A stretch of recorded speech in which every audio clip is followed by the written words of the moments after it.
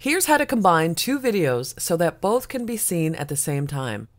Lay one video on top of the other. Click on the top video.